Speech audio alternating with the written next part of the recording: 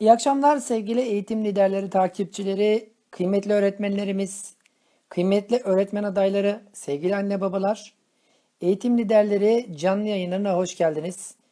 Pazartesi akşamları saat 9'da birbirinden kıymetli, değerli öğretmen arkadaşlarımızla birlikte, öğretmenlerimizle birlikte evlerinize misafir oluyoruz. Bu akşam da güzel bir konuyla karşınızda olacağız. Uzaktan eğitim biliyorsunuz pandemi süreciyle birlikte hayatımıza girdi. Ee, ama öncesinden de araştıran, sorgulayan, efendim farklı ülkelerle projeler yürüten öğretmenlerimiz var. Uzaktan eğitimi pandemi öncesinde başlatan öğretmenlerimiz var. Onlardan bir tanesiyle bu akşam evlerinize misafir olacağız. Kıymetli Esra öğretmenimle birlikte karşınızda olacağız. Hocamızı yayına almadan önce bir duyuru yapmak istiyorum sevgili izleyenler, değerli arkadaşlar. Biliyorsunuz eğitim liderleri canlı yayınları 3. yılında her pazartesi akşamı saat 9'da karşınızda oluyoruz. Eğitim liderleri olarak şu felsefeyle yaklaşıyoruz olaya. Biz öğretmenler, anne babalar yani eğitimle işi olan herkesle birlikte birbirimizden ilham alıyoruz felsefesiyle paylaşım yapıyoruz. İyi örnekleri sizlere sunuyoruz. Bunlardan bir tanesi canlı yayın bahsettiğim gibi. Diğer bir etkinliğimiz online seminer ve online e, atölyeler düzenliyoruz. Yine başvuranlara Zoom üzerinden böyle bir program gerçekleştiriyoruz. Üçüncü bir etkinliğimiz de bu sene başlattığımız kitap kritiği etkinliği. Geçen hafta bunun güzel bir etkinliği geride bıraktık. Müjdat Ataman Hoca öğretmenimizin yazmış olduğu Açılın Ben Öğretmenim kitap kritiğini birlikte katılanlarla gerçekleştirdik. Çok keyifliydi, inanılmaz keyifliydi. Öneririm sizlere de izleyen arkadaşlara. Şimdi de yeni kitabımız belli oldu. Birlikte belirliyoruz bu kitabı. Sinan Canan hocamızın yazmış olduğu İnsanın Fabrika Ayarları serisinin üçüncüsü Sınırları Aşmak kitabını tarihi büyük bir ihtimal 1 Mart'ta olacak arkadaşlar ama henüz daha netleşmedi. Tarihi ve e, başvuru formu yakında sizlere göndermiş olacağız. Takip etmiş olursunuz. Şimdi misafirimi daha fazla bekletmeden ben kendisini ağırlamak istiyorum. E, Esra öğretmenim. Evet, Esra öğretmenimi ağırlamak istiyorum. Beraber Esra'nın neler yaptığını göreceğiz. Kendisiyle tanışma hikayemi, nereden ulaşma hikayemi de bahsetmek isterim açıkçası kendisi bağlandıktan sonra. Ee, evet Esra Hocam hoş geldiniz. Merhabalar, iyi akşamlar herkese. İyi akşamlar. Nasılsınız Esra Hocam? İyi misiniz? Teşekkür ederim öğretmenim. İyiyim. Nasılsınız? Çok sağ olun. Çok teşekkür ederiz e, Sayın Hocam. Ee, sevgili hocam ben şimdi izninizle tabii sizin kendinizi tanıtmanızı rica edeceğim ama öncesinde Esra öğretmenime ben şöyle ulaştım. Biliyorsunuz Ziya Hoca, bakanımız Ziya öğretmenimiz e, illerde buluşmalar gerçekleştiriyor. Yani öğretmenlerimizle buluşma gerçekleştiriyor. E, Bursa'da e, Bursa ile buluşma programında Zoom üzerinden birçok katılım Bursa'daki görev yapan öğretmenlerimizle buluşma gerçekleştirdi. E, ben de izlemek istedim. Ben İstanbul'dayım. İzlerken e, sevgili hocamız öğrencileriyle birlikte Hacivat'la ilgili bir sunum gerçekleştirdi. Dedim ki Esra öğretmenimi yayınıma mutlaka almalıyım diye düşündüm. Kendisiyle iletişime geçtim. Sağ olsun o da kırmadı. Yayınımıza katıldı.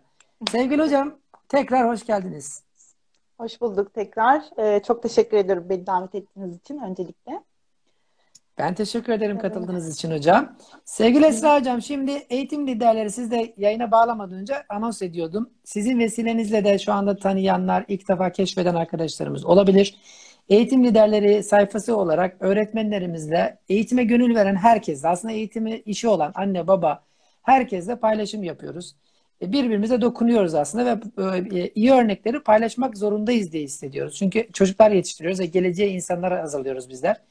Bu anlamda canlı yayınları 3. yılımızdayız. Eğitim, online kitap kritiği ve online seminerler düzenliyoruz ve online kitap kritiğine de başladık. Sizleri de inşallah davet ediyoruz bu vesileyle. Sizler de güzel çalışmalar yürütüyorsunuz ee, ve masallar ışığında pandemiden önce uzaktan eğitim başlıklı bir söyleşi gerçekleştireceğiz bu akşam. Yorumları ve sorularıyla izleyen arkadaşlarımız katılabilirler. Öncelikle kendinizden kısaca bahseder misiniz? Tabii ki de. Ee, bu arada ben ilk başta şunu söylemek istiyorum. Gerçekten sayfanızı sizinle konuştuktan e, son, hemen kısa bir süre sonra inceledim. Ne kadar güzel şeyler paylaşmışsınız. Ne kadar güzel öğretmenlerimiz var. Onlarla birlikte sohbetler etmişsiniz. Bundan sonra da hem ben hem velilerim hem beni tanıyanlar eminim takip edeceklerdir. Çok güzel gerçekten verimli e, işler burada diye düşünüyorum. Çok teşekkür ederiz hocam. Evet. Ve herkesi bekliyoruz bu anlamda. İnşallah. Böyle sesim iyi geliyor mu hocam? İyi geliyor şu anda bana iyi ulaşıyor. İzleyenlerimize de umarım aynı şekilde Tamam. ulaşıyordur. Hı hı. Ben böyle daha rahat edeceğim o yüzden. Hı hı. Ee, kendimden kısaca bahsedeyim. Ben e, Orhan ilinde şu anda Bursa Orhan İl ilçesinde sınıf öğretmeniyim. 10 yıldır burada görev yapıyorum. Daha öncesinde Muş'ta görev yapmıştım. Ondan öncesinde e, eğitim hayatım karmaşık yani e, birçok yerde eğitim aldım. E, şöyle söyleyeyim. Aslen Kırıkkaleliyim. Annem babam Kırıkkaleli. Kırşehir'de büyüdüm. Daha sonra Kırıkkale'ye geldim. Kırıkkale'de eğitim hayatıma devam ettim. Oradan sonra Denizli oldu hayatımda. Pamukkale Üniversitesi oldu. Çok güzel bir yeri var bende. Hiç unutmam. Hocalarım, arkadaşlarım. Ee, çok güzel dostluklar kazandım orada. Denizli apayrı bir yer, yere sahiptir benim için. Hı hı. Ee, Deniz'den sonra Erasmus öğrencisi olarak Hollanda oldu. Tabii çok farklı bir kültür, yeni bir yaşam. Bu şekilde bir senemi geçirdim. Oradan geldim. Bu sefer Muş oldu. Ülkemizin farklı coğrafyaları, farklı kültürleri benim de hayatımda ilk defa gittiğim bir yerdi. Ama asla unutamayacağım bir yer oldu. Hala da özlerim. Öğrencilerimle görüşürüm. Ee, orada tanıdığım velilerimle her zaman sohbet ederiz. Servis şoföründen tutun, ekmek yapan teyzeye kadar hala görüşüyorum. Bu Ay ne kadar şekilde. güzel. Evet, e, daha sonra da Bursa'ya geldim. Eş durumuyla birlikte tayin oldum. Bursa'da şu anda Orhaneli ilçesinde şirin bir ilçemizde hayatıma devam ediyorum. Bir kızım var. Eşim de aynı zamanda okul müdürü. O da eğitimci. Üniversiteden aynı sınıf arkadaşım zaten kendisi. Bu Şu anda şekilde. şu anda bizi izliyordur beyefendi herhalde hocamız. Kendisine buradan selamlar. Evet, şu an o da diğer odadan takip ediyor beni. Eyvallah kendisine selamlar. Şimdi sevgili hocam e, Erasmus Plus dediniz. Aslında bugünkü konuğumuzun belki e, başlangıç noktalarından bir tanesidir. Çünkü yurt dışı tecrübeleri aslında bize çok farklı tecrübeler katıyor. E, üniversitede okurken öğrencilerimiz bu öğrenci değişim programlarıyla farklı ülkelere gidebiliyorlar. Ben biraz bu yayınlarımızı şu anda izleyenler var, sonra kaydını izleyenler var, öğret, öğretmen adayları, henüz üniversitede okuyan öğretmen adaylarımız izliyorlar. O anlamda onlara da bir ışık olması ve referans olması açısından e, bir öğrenci Erasmus e, Plus projesi kapsamında nasıl bir değişim programına dahil oluyor? E, biraz oraya oradan bahsetmeni rica edeceğim. Tabii ki de. Ee, şimdi bizim zamanımızda tabii bu işler birazcık daha kolaydı. Çünkü başvuran az kişi vardı ve bilinmiyordu. Bu kadar yaygın değildi. Ee, biz de başvurmaya korkuyorduk açıkçası. Yani hem ailelerimizin durumu hem dışarı farklı bir ülkeye gitme korkusu hepimizde vardı. Bu yüzden korkuyorduk. Üniversitemizde e, açıkçası benim adıma üniversite hocam çok sağ olsun kendisine çok teşekkür ediyorum. Sınava kendisi benim ismime başvurmuştu. Sen bu işi yaparsın diye. Bana da bir sürpriz olmuştu sınav kağıt geldiğinde.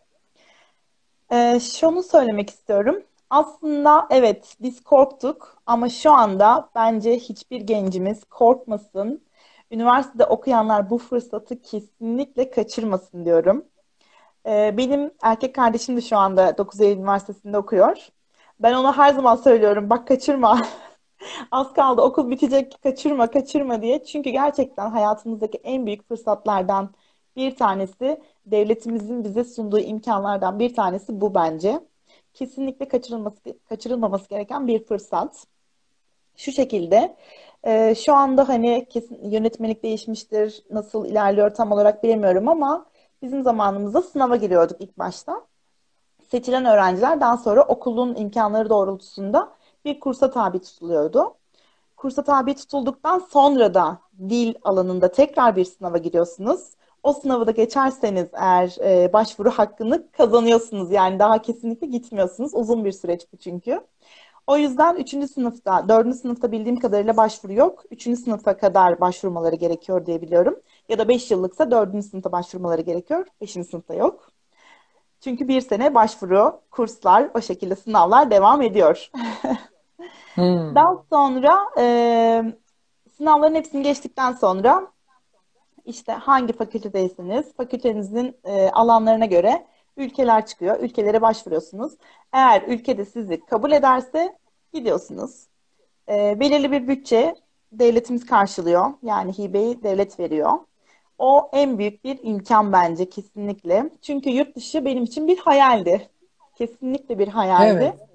Ee, yani babam devlet memuruydu benim de. Üç kardeştik. Yani mümkün değildi hani yurt dışında okumam çok zordu. Çünkü üçümüz aynı anda öğrenciydik.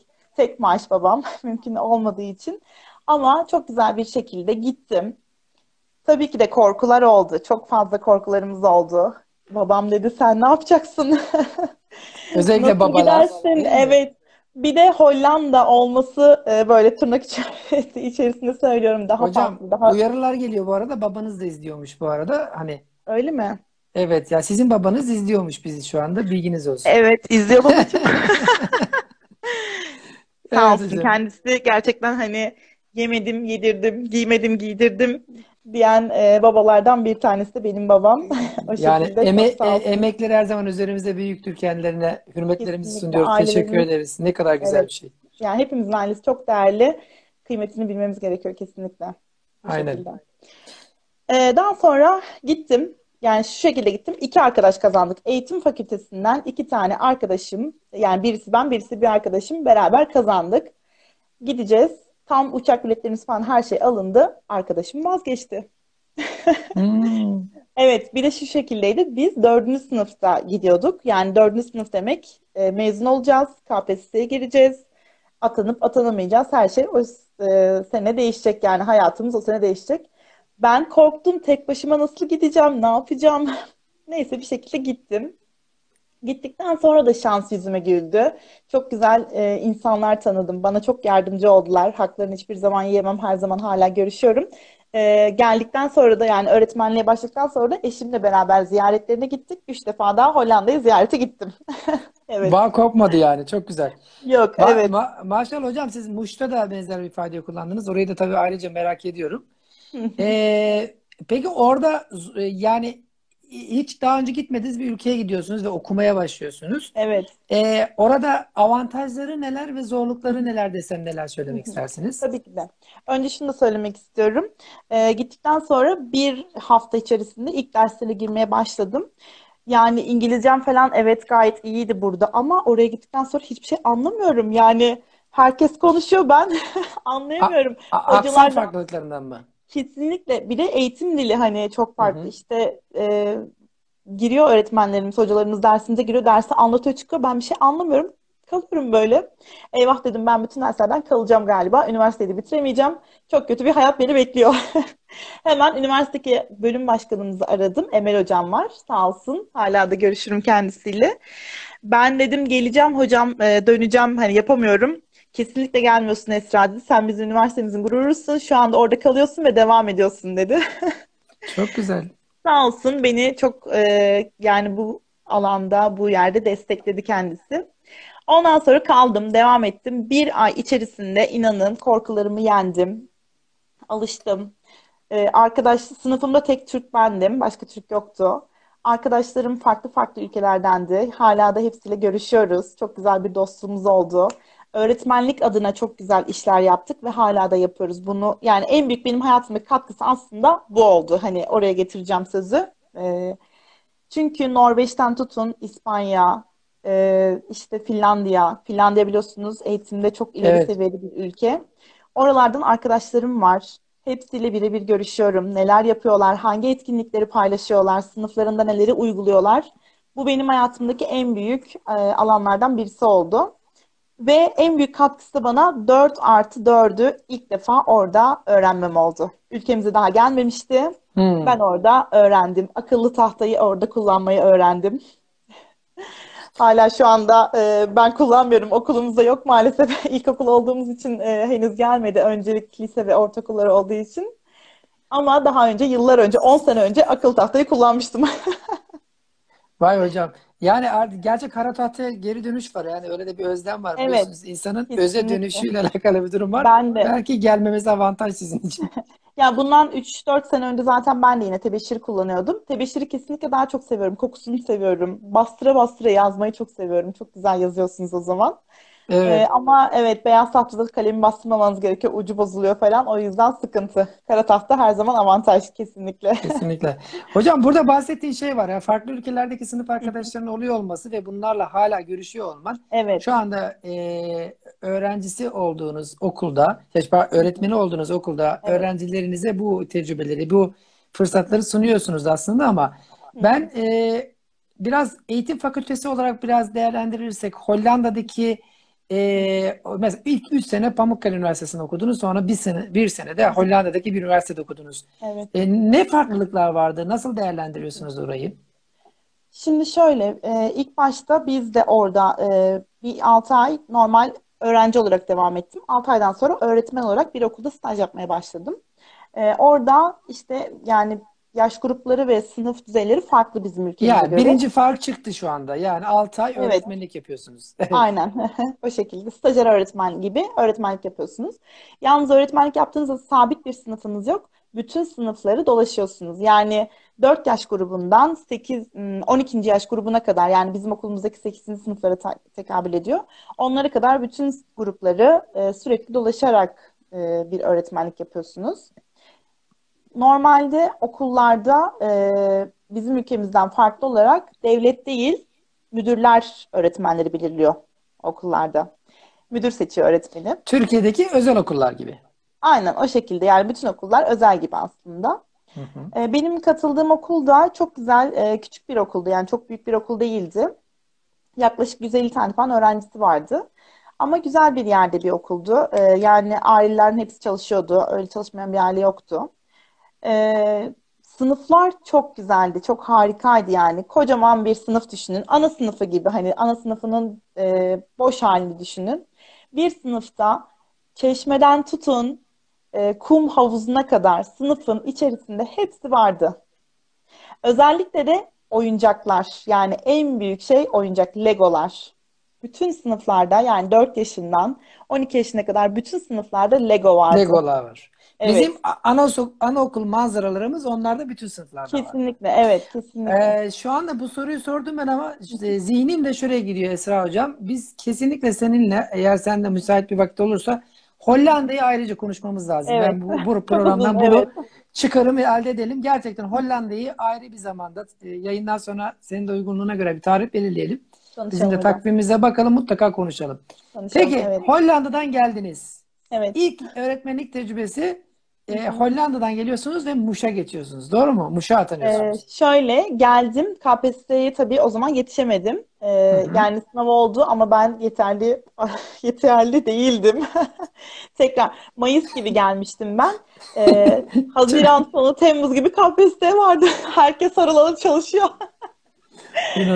Evet ben de kitaplarımı götürmüştüm ama çalışamamıştım. Yani derslerim çok ağırdı gerçekten. Ee, en azından dersleri geçmek hedefinde. Hollanda tecrübesi sizi ülkemize yeterli kılmadı. Ama çok Maalesef. uzun sürmedi. Çünkü o zaman şöyle bir durum oldu maalesef. KPSS iptal edildi. 2010 KPSS'ine girmiştim ben de. İptal edilmişti maalesef. O yüzden bana bir avantajdı aslında. Hani bu dezavantajlı bir durumdu. Fakat benim için bir avantajı dönüştü. Çünkü arkadaşlarım da geç atandılar. Evet 90 puanı mesela eşim, yani üniversitede en yüksek puanlar alanlardan birisi. Direkt Bursa'ya atandı. 90 puanla. Ee, ben yani 72 puan almıştım açık açık söyleyeyim. Eşiniz hocam çoktan seçmeli antrenmandaymış hocam. Yani bol bol Evet, Ama evet. üniversitedeki sınıf hocamız hep şunu söylerdi. Eğer evlenecekseniz kızlar çok çalışmasın gerek yok. Nasıl olsa evleneceksiniz eş durumundan gelirsiniz. Ya bu Erkekler arada daha çok çalışsın. Esra öğretmenim, Esra öğretmenim. Evet. Şunu söylemek evet. istiyorum. Enerjiniz harika. Ee, Sağ olun, gerçekten burada sınıfa yansıdığı çok belli. Çünkü velileriniz şu anda o kadar güzel yorumlar yazıyor ki yani özellikle vurgulayayım. Hepsi böyle iyi ki bizim öğretmenimiz, iyi ki bizim öğretmenimiz. Onu çok seviyoruz, onu çok seviyoruz diyorlar. Sağ olsunlar. Bu arada hani eşiniz izliyor, babanız da izliyor. ee, kardeşiniz de izliyormuş hocam. Onu da özellikle Öyle mi?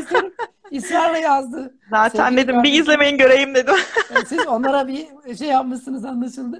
Yok o yüzden yok sağ olsunlar. arkadaşlarınız da aynı şekilde e, hep toplu olarak hani e, onların o güzel duygularını size söylemiş olayım sevgili hocam. Teşekkür ederim. Çok sağ olun. Evet. E, Evet, evet hocam. atanmadım yani atanamadıktan sonra ama ücretli olarak boş durmadım. Kesinlikle boş durmak diye bir şey benim hayatımda yok. Yani tatil de olsa ben boş duran bir öğretmen değilim. Boş durmayı hiç sevmem. Üniversiteyken de öyle hep dolu dolu geçti. Projeler, TÜBİTAK projeleri. Yani nerede kurs var orada ben, nerede sınav var orada ben. Hep öyleydi. Ama iyi ki de öyle yapmışım hayatımda yani dönüp baktığımda Peki üniversitede dolu hocam dolu. sizin notlar mı fotokopi odalarında çoğaltılırdı? Siz onlardan mısınız? Yani şu an keşke canlı yayına ben dışında bağlansalar. Onlar anlatsa ben değil.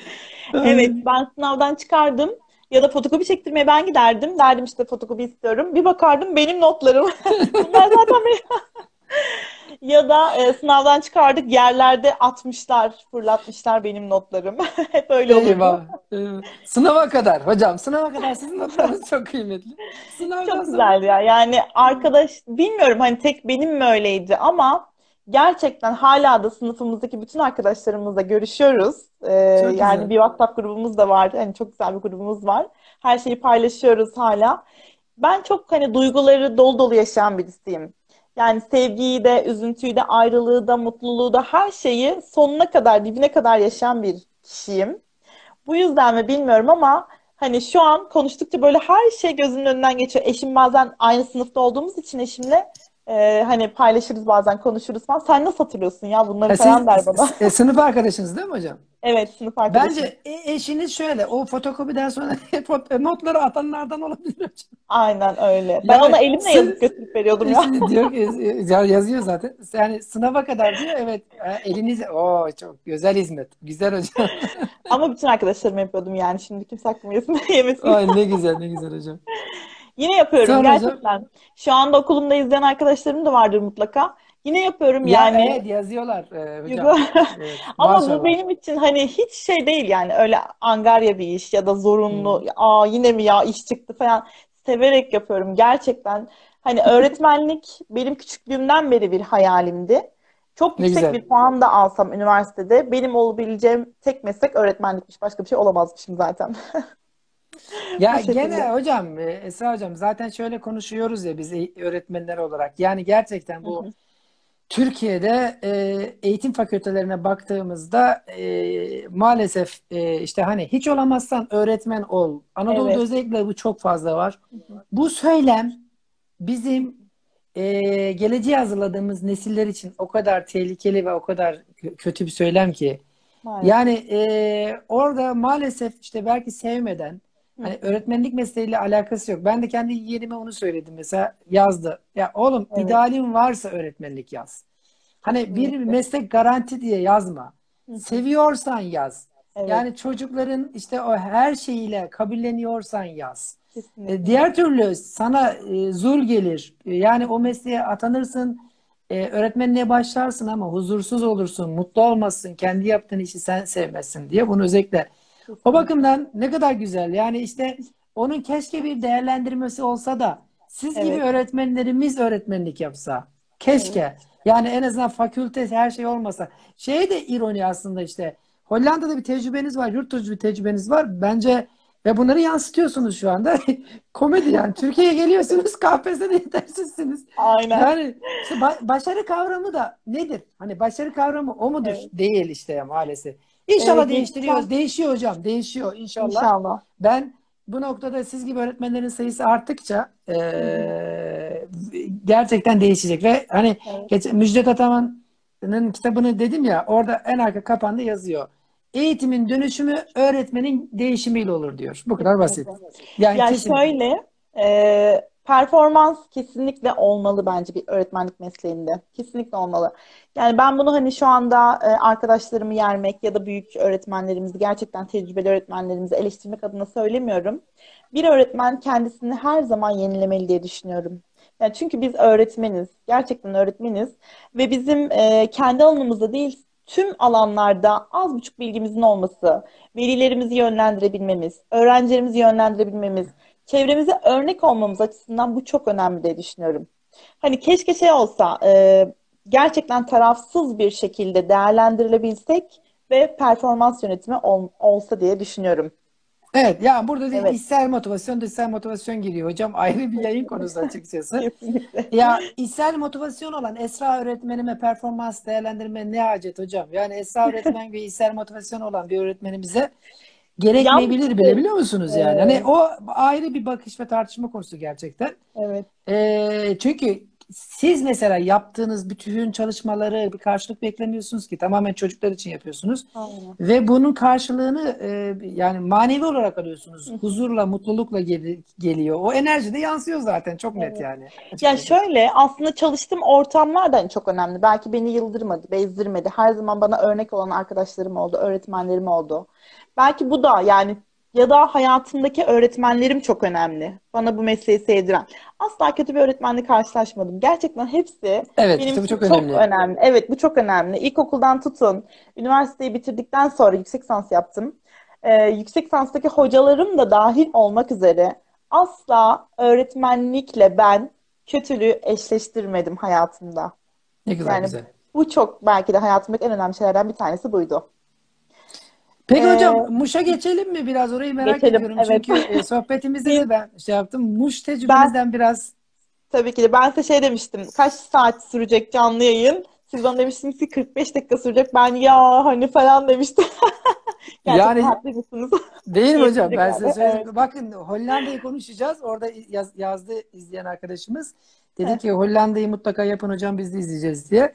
Ee, bakın buradan bir canlı yayın daha çıktı. Ben Evet. biliyordum Esra hocama 45 dakika yetmeyeceğini hocam. E, emindim bundan yani.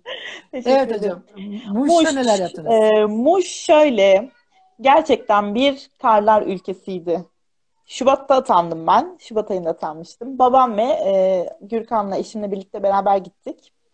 Gittiğimizde hayatımızda, eşim İzmirli bu arada, hayatında hiç kar görmemiş zaten. Ben gördüm evet kar. E, küçüklüğümde falan Kaman'da, Kırşehir Kaman'da büyüdüm. Orada yağardı kar. Ama dağlar kadar, evlerin tamamını kaplayacak kadar kar yoktu. Telefon, elek- elektrik direkleri kadar, gözükmeyecek kadar kar asla yoktu. Yani sokakta kamyonla kar taşıyorlar. Ee, gece geliyor işte böyle bir tane kamyon. Hepsini kar kürüyorlar böyle. Atıyorlar, götürüyorlar, boşaltıyorlar, getiriyorlar. Çok ilginç gelmişti. Ama hiç korkmadım. Seve seve gittim. Zaten e, hani gerçekten öğretmenlik bayrağımızın nerede dalgalanırsa dalgalansın yaparım diyerek, e, severek gittim. Hiç böyle yani aman ben ne yapacağım, nasıl yapacağım hiçbir yani soru işareti yoktu. Atandığımda da zaten babam böyle düşünüyordu kara kara eyvah bu kız oralarda ne yapacak falan diyordu ama ben Hollanda'ya gönderirken. Evet. Hollanda'ya gönderirken ki düşüncenin aynısı Muş'a gönderirken de. Aynen. Atandığım okul e, şöyle Nisan gibi yani daha doğrusu şöyle söyleyeyim. Eylül gibi falan yolları kapanıyormuş. Nisan Mayıs'a kadar asla açılmıyormuş okulun. Tabii ben Şubat'ta gittim. Şubat'ta gittiğim için beni başka bir okula verdiler. E, biz arkadaşlarla tanıştık falan filan işte iletişim kurdum. Onlar daha önce okulda çalışan arkadaşlarım. Beraber bir gün işte beni aldılar okula götürdüler. Ben böyle tabii soru işaretleri ne yapacağım ne edeceğim nasıl olacak falan. Gittik gittik böyle 50 kilometre falan sürüyor bu arada. Kalacak yer olmadığı için mecburen gidiş geliş yapıyoruz. Yani günlük 100 kilometre gidiş geliş yapıyorduk düşünün.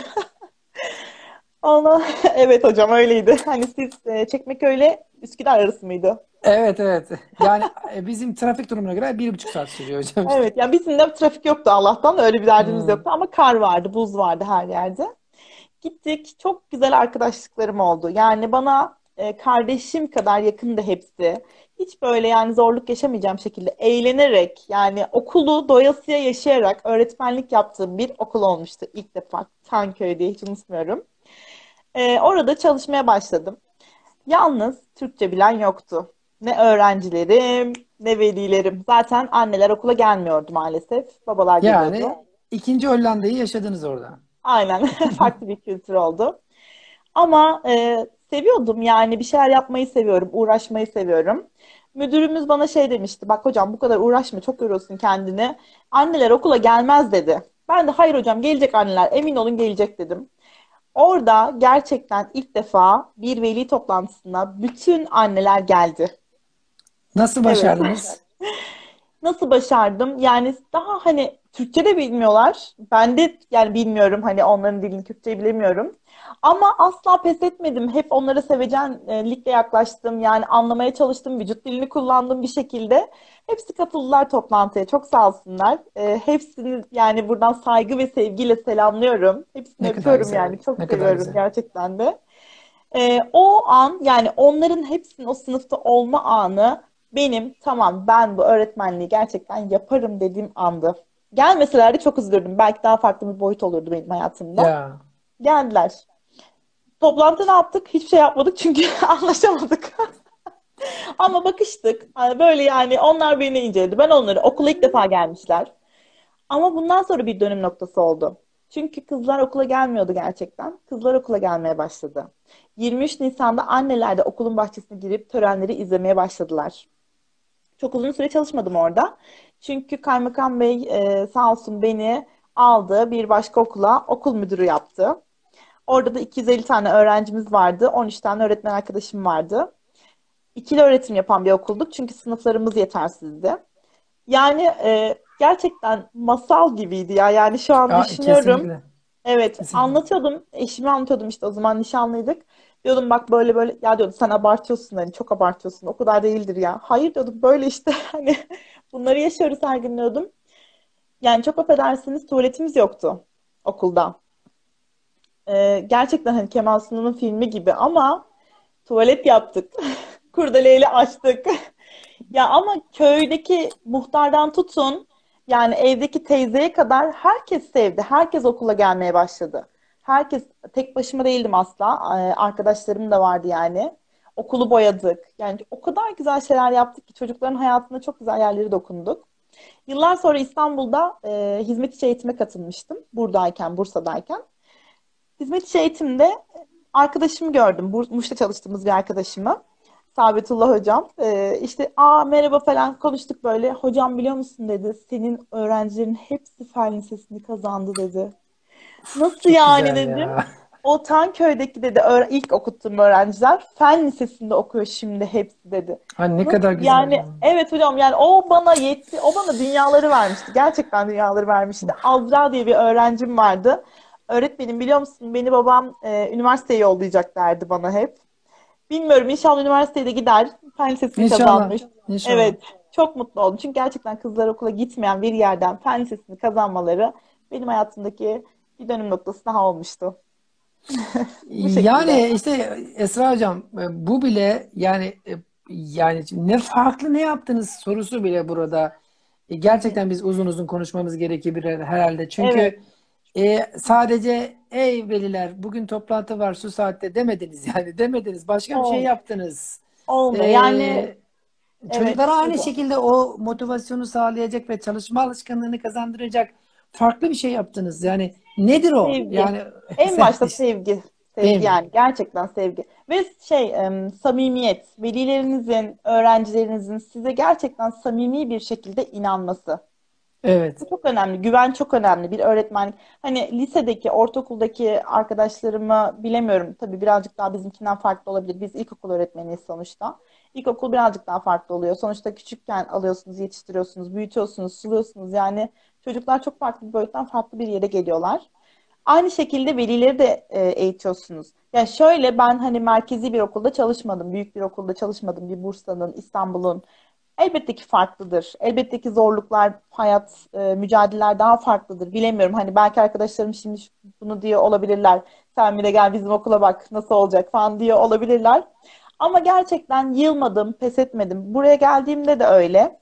E, yani izleyenler vardır mutlaka. Aflarına sığınarak söylüyorum. Mesela burada daha önce ilk çalıştığım okul Karıncalı İlkokulu'ydu. Gerçekten zor bir okuldu. Yani e, öğrenciler zordu, veliler zordu. Hmm, Zor bir okul olmasına rağmen inanın oradan ayrılırken yani 3 ay 4 ay ağladım ya o okuldan neden ayrıldım diye. Yani köy okulundan merkez ilçokuluna tayin olurken ağladım. Norm fazlası olarak gelmiştim. Çok ağladım. Muş'tan Bursa'ya gelirken herhalde ağlayan nadir öğretmenlerden birisi benimdir. Ya işte 2-3 ay ağladım ya. Tayinim çıktı diye ağlıyorum. Düşünsenize. evet. Çok seviyorum. Yani İliklerime kadar mesleğimi yaşıyorum. Bu çok önemli. Angarya gelmiyor. Yani zaman, e, evet benim de bir çocuğum var. Ama yine de zaman ayırabiliyorum. Yani bir kitap okumuştum yıllar önce. Aptallar 8 saat uyur diye. Evet, yani tartışmalı konular bunlar ama az Tabii ki. uyuyorum. Evet, daha az uyuyorum ama daha çok şey yapıyorum. Ya Esra Hocam, e, gerçekten burada ben kendimce nasıl açıklayabiliyorum bunu? Hep diyorum çok önemli. İçsel motivasyon, içsel motivasyon. Sizin çocukluğunuz bence çok kıymetli. Şu anda anneniz babanız izliyorsa hürmetlerimi sunuyorum. İnanın, inanın yani anlatırken e, insan duygulanıyor ve e, tüyleri diken diken oluyor. E, öyle bir sağlıklı bir ortamla belki size o motivasyonu verdi ki, içsel motivasyonu verdi ki siz de devam Evet, ettiriyorsunuz. Harika bir şey bu, mükemmel bir şey. annem E, yazık. selamlar. Gerçekten Ben kızımı küçükken beni okula ailemiz, gitmeden çok sever. Evet. Okula gitmeden yani çok küçükken bile kitapları elime alıp sürekli ben dershaneye gidiyorum diye evden çıkan bir çocukmuşum. Annem hep anlatır onu. Ama siz Öyleydim. şimdi mesela e, ben o ifadeyi kullanmak istemiyorum ama öğrencilik hayatında o tarz öğrenciler bir ifade kullanıyorlar. Ama Evet. e, siz sevecenliğinizle bence o ifadeyi almamışsınız üzerinize. Hani e, sevecenliğiniz ve o pozitif enerjinizle etrafınıza enerji ve sevgi saçmışsınız. Ne güzel. Ömür boyu inşallah böyle devam eder. İnşallah, inşallah. Aynı şekilde e, annenizin güzel söylediği gibi yani küçük küçüklüğünden beri ailemiz, akrabalarımız çok severdi. Çünkü Aa, aynı şeyi bence siz ailenize, akrabalarınıza da yapıyorsunuz. Yardım etmek, koşmak, evet. faydalı olmak, dokunmak Ya şey oluyor hala devam gerçekten ediyor. e, öğretmenlikten mi hani meslek üzerime yapıştığı için mi bilemiyorum ya da yaşam şeklim olduğundan mıdır? Yolda gördüğümde bile müdahale etmek istiyorum ya. Yani belediye başkanımız falan izliyorsa yani bazen hep yorum yapıyorum hani başkanım şöyle olsaydı böyle olsaydı sağ olsun o da hiç beni kırmaz sürekli destek verir ya da işte fikirlerimi önemser yani.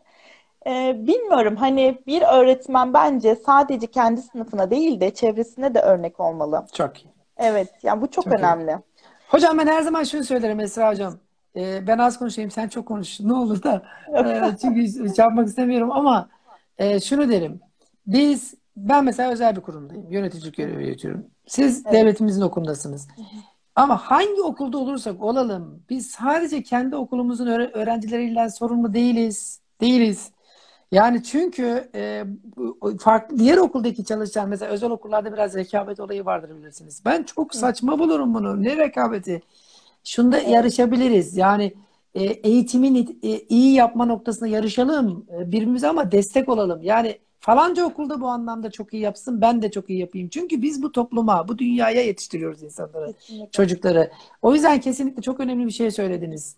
Çok önemli bir şey söylediniz. Şöyle hocam aslında e, arkadaş ortamımdan da kaynaklı olabilir. Benim çevremde gerçekten öğretmenliği e, hani maaş alarak yapılan bir iş olarak değil de gerçekten seven arkadaşlarım çok fazla var. Mesela Türkiye'nin farklı illerinden, ilçelerinden, köylerinden 250 tane öğretmen arkadaşımın olduğu bir WhatsApp grubumuz var. Gece gündüz tatil demeden yani hani gece saat 11 olmuş 12 olmuş artık yazmayayım yok. Herkes bir etkinlik paylaşıyor ya. Herkes kendinden bir şey paylaşıyor. Mesela Ülfet var galiba. Evet, Ya e, evet e, canlı EBA'yı yani EBA'daki bütün e, dersleri izleyip not çıkardı ya Ülfet. Yani bu hani benim arkadaşlarım da böyle. Anlatabiliyor muyum? Hani sadece ben Çok değil gerçekten. Evet. Yani o kadar kıymetliler ki e, yaşları çok büyük öğretmen arkadaşlarım, ablalarım var. Yani emekliliği gelmiş. Medya hocam, Seçil hocam. Yani Çok güzel hani ya. hepsinin ismini sayamıyorum şu anda ama Cavidan hocam. Aslında hiçbirisini tanımıyorum. Hiç görmedim. Ama sadece sanal ortamda tanıştık kendileriyle. Evet. Ee, Ömer hocam var bana kızmasın Hocam, oradan. Esra hocam biz ona ne diyoruz biliyor musun? Sanal zümre dedik de sonra bunun Evet, ismini değiştirdik. Sanal öğrenenler öğrenenler topluluğu. Şimdi kesinlikle. IB programları var bilirsiniz. Uluslararası bir program. Orada Evet. öğrenen, öğrenenler topluluğu diye bir kavram vardır. Yani öğrenci, veli, öğretmen hepsi öğrenenler topluluğudur. Kesinlikle. Dolayısıyla e, sanal öğrenenler topluluğu diyoruz biz buna. O kadar güzel iş yapıyorlar ki şu anda bizim yaptığımız sohbet de bununla ilgili. İzleyenlerle birlikte aslında onlarla birlikteyiz ve bir enerji oluşturuyoruz. Evet. Zaten eğitim liderlerinde de aslında hep bunu vurguluyorum ben. Bir tane öğretmenimize dokunabiliyorsak benim için yeterli diyorum hocam. Bu yola öyle çıktık, öyle de devam ediyoruz. Siz de aynı şekilde bakın enerjinizde ne kadar güzel işler yapıyorsunuz. Şimdi yavaş yavaş Esra Hocam sen diyordun ki Evet. acaba 45 dakika geçer mi? Evet. Son 5 dakikaya doğru ilerliyoruz. Seninle birlikte yine Hollanda'yı özel konuşacağız. Ama herhalde seninle biz 4-5 yayın daha yapmamız lazım. Ben öyle görüyorum. görüyorum. Ama. Hollanda'yı yapacağız. Şimdi e, masallar ışığında pandemiden önce uzaktan eğitim dedik biz. Siz masallarla ilgili e, Evet. ne de ne yaptınız da böyle bir başlık koyduk biz? Onu izleyicilerimizle paylaşır mısınız? Şu anda bir projemiz var. Ee, yani zaten bakanlığımızın Anadolu Masalları projesi vardı. Ee, bunu biliyorsunuzdur. Hı hı. Bizim de bundan farklı olarak e-Twinning'de bir yaptığımız projemiz var. Ee, çok değerli arkadaşlarım var, kurucularımız var, Şebnem Hocam var sağ olsun. Farklı illerden arkadaşlarım, 10 tane arkadaş ve 6 tane farklı yabancı ülkeden arkadaşlarımız var. Kendi kültürümüze ait masalları ve e, diğer kültürlerdeki masalları çocuklarımıza öğretiyoruz. Yani bizim hayatımızda da Rapunzel'in mercan kız olduğunu, işte Cinderella'nın Küllü Fatma olduğunu, bunları gösteriyoruz. Hani kendi geleneğimize ait masallar. Çünkü gerçekten bilmiyorduk. Ben de bilmiyordum. Yani Evet, zamana evet, kadar e, evet hiçbirimiz bilmiyorduk. Ama velilerim de ben de bu sayede, bu proje sayesinde öğrencilerim de çok güzel şeyler öğreniyoruz masallarla. Hem masallarla matematiği de yapıyoruz, feni de yapıyoruz masalların ışığında. Hem de çok güzel bir yani farklı ülkelerdeki masalları, o oradaki arkadaşların online çocuklarla da mesela toplantılar yapıyoruz. Çocuklar oradaki arkadaşlarının sınıflarını görüyorlar. Bu çok önemli. Hangi ülkelerle yapıyorsunuz? Altı farklı ülke var. İspanya var, e, Litvanya var, e, İtalya var şu anda. E, Ürdün vardı, Azerbaycan var bir tane. E, Şimdi onun onlarla ortaklaşa ders mi yapıyorsunuz? Masallarla bu proje kapsamında çocuklar aynı Zoom ortamında herhalde Zoom'u kullanıyorsunuz ya da farklı bir platform. sürekli değil Ortaklaşa ders ama mi evet. Ee, sürekli değil. Yani şöyle projemizi e, uzaktan yürütüyoruz zaten şu an okul olmadığı için. Okul olsaydı süreç daha farklı oluyordu. Mesela hı. geçen sene Romanya ile ait bir projemiz vardı ortak. Onunla sürekli derste bağlanıyorduk. İşte uzaktan eğitim yani Evet, Zoom. evet. Zoom'u gerçekten daha önceden kullanabiliyorduk. Çocuklarım da kullanıyordu, ben de kullanıyordum. Çocuklar şu anda benden daha iyi kullanıyorlar Zoom'u. Üçüncü sınıf öğrencileri olmalarına rağmen çok güzel şeyler yapıyorlar yani Zoom'da. Ee, uzaktan eğitimden önce biz uzaktan farklı ülkelerle yine eğitim yapıyorduk. Evet, ders esnasında bağlanıyoruz. Serbest etkinlikler, işte e, görsel sanatlar. Seçiyoruz konumuzu mesela. Yani önceden belirli tabii ki planımız, programımız, her şey belirli. Diyelim ki bu hafta masalımız Cinderella diyelim, Kül Kedisi. Görsel sanatlar dersinde açıyoruz, çocuklarla tanışıyoruz, canlandırma yapıyoruz, drama yapıyoruz. Onlar gösteriyor bize, biz onlara gösteriyoruz. Videolarımızı yolluyoruz çocuklarla birbirimize. Hem onların sınıflarını, neler yaptıklarını görmüş oluyoruz. Hem de onlar bizim sınıflarımızı, ülkemizi tanımış oluyorlar. Bu şekilde bir proje. Çok güzel. Yani çocukların da aldığı katkısı var dediniz hocam. Veliler ne Evet. yapıyor? Veliler e, bu süreçte nasıl Yani yer hocam alıyorlar? size göndereyim, e, izleyin videolarımızı. Aa, çok Neler çok yapmıyorlar ki? çok çok memnun Hani olurum hocam. sınıfımızda ne Türkan Şoraylar, ne Fatma Girikler varmış. Gerçekten e, Türk sineması tadında video çeken velilerim var ya. O kadar güzel çekiyorlar, Aa, o çok kadar emek veriyorlar. Anlatamam size. Mesela en son e, Keloğlan'ı, işte Hansel ve Gretel'i, sonra Kırmızı Başlıklı Kızı canlandıran velilerim vardı. O kadar güzel şeyler yapmışlar ki ailece katılmışlar ya. İki çocuğu Hansel ve Gretel. Anne baba işte oduncu. Oduncunun işi. O kadar güzel yani velilerim de seviyor. Biz dezavantajlı bir bölgedeyiz. Doğu Görevi diye geçiyor burası. Bursa'nın dağ bölgesinde yer alıyoruz. Evet, Ama bizim asla Simava doğru hocam. evet evet aynen. Kütahya Simava doğru. Ee, ama asla yani benim velilerim, benim öğrencim. Ee, bir de şunu söylemek istiyorum. Ben sadece kendi sınıfımın değil okulumun öğretmeniyim. Bütün velilere yani sadece kendi sınıfıma değil gerçekten okulumuzdaki bütün velilere ulaşmaya çalışan bir öğretmenim. Bu şekilde. Ee, yani velilerim de çok seviyorlar. Bilmiyorum bana kızıyorlar mı? Of öğretmen yine bir etkinlik çıkar diyorlar mı ama hocam e, katılan velilerimizden mesela Leyla Hanım'ın yorumunu okuyayım size. Esra öğretmenim kendi oğlumun öğretmeni Elif Gürsoy gibi işini aşkla yapan bütün öğretmenlere selam olsun demiş. evet sağ olsun Dolayısıyla Hanım. yansıyor hocam. E, Evet. bence memnunlar. Hayatlarından çok memnunlar. E, Evet. hatta bir velimiz önceden yorum yaptı. Şimdi bu manzaralar özel okullarda çok olur maalesef. e, şöyle e, çocuklarını sevdikleri öğretmenlere vermek isterler. Evet. Ve bununla göre işte e, bazı özel okullarda olur bu. E, yöneticilere baskı yaparlar vesaire ama sizde şöyle diyor ki ikinci çocuğumu Esra hocamıza denk getireceğim diyor. Esra hocamın birisi. Artık İnşallah. yani tecrübe İnşallah. etmişler, çok memnun kalmışlar. Ee, Evet. öyle bir şey yazdılar yorum. Dikkatimi çekti. Sağ Dedim ki bunu paylaşmalım. Tam yeri geldi paylaşmış oldum hocam. Ya Ee, eşimle ben de e, kızımız var mesela 3 yaşında şu anda kızımız. İnanın yani yaşadığımız yeri çok seviyoruz. Orhaneli ilçesi bizim hayatımızda çok önemli bir yere sahip. Esnafından, e, velisine, öğrencisinden herkesi tanıyoruz. Seviyoruz ya. Yani sokağa çıktığımızda mutluyuz. Yürürken böyle mutluyuz. Gülümsüyoruz yani. Hani pişman değiliz. Neden buraya geldik? Neden yıllardır buradayız demiyoruz. Daha kaç sene kalırız bilmiyorum burada ama inşallah hep böyle güzel şeyler yaşarız. Yani bana mı hani İnşallah. her şey toz pembe geliyor bilmiyorum ama ben gerçekten seviyorum yani. Sevgiyle, sevginin olduğu her yerde de her şey güzel oluyor açıkçası. Ya hocam orada işte e, mesela siz öğretmen olarak sevgiyle açıklıyorsunuz. Doğal bir açıklama. Evet. Şimdi Birlikte Hissetmek kitabı diye bir e, Doktor David Burson yazmış olduğu bir kitap var. E, psikiyatrist, Hı e, hı. binlerce danışanları olmuş, terapi vermiş. Oradaki tecrübelerini aktarmış kitaba. Biz onun kritiğini de yaptık. Orada şöyle bir şey söylüyor. Diyor ki e, düşünce, sonra duygu, sonra eylem gelir diyor. Yani duygu önce gelmez. Önce düşünce kalıplarımız vardır zihnimizde diyor. Zihninizde sizin oluşturduğunuz düşünce kalıplarda da bilişsel çarpış, çarpıtmalar vardır diyor. Orada bilişsel, bilişsel çarpıtmaları da yaz, anlatıyor ayrıntılı bir şekilde. Yani dolayısıyla biz düşüncemizi esir olarak e, mutsuz da olabiliriz, mutlu da olabiliriz. Yani olaya sizin bakış açınızla doğru orantılı. Evet, Muş'a gittiniz, zorlandınız ama sonra mutluluğun mutlaka bir anahtarını evet. buldunuz. Aynı şekilde şu anda Orhaneli'de yapıyorsunuz. Nereye giderseniz gidin Allah'ın izniyle siz mutlu olacaksınız. Ve İnşallah. her ayrıldığınızda ağla- Evet. ağlayarak ayrılacaksınız. Onu da söyleyeyim. Herhalde öyle. Ben her şeyi alırım zaten. Şimdi Ne, canlı ne diye mutlu alacağım. Ne şimdi canlı yayın yani. Çok güzel. Ya sevmek önemli ve kendini yetiştirmek çok önemli. Yani biz gerçekten dediğim gibi ben e, okul bittikten sonra hemen zil çaldı bunun okuldan kaçayım demiyorum. Kalıyorum biraz daha. Yani çalışanlarla sohbet ediyorum. Müdürümüzle, müdür yardımcımızla. İllallah ettiler artık benden biliyorum ama ama seviyorum yani. Benden kurtuluş yok. Evet. Arkadaşlarım sürekli bir şey gönderiyorum. Sürekli diyorum eğitim var. Şuna katılın.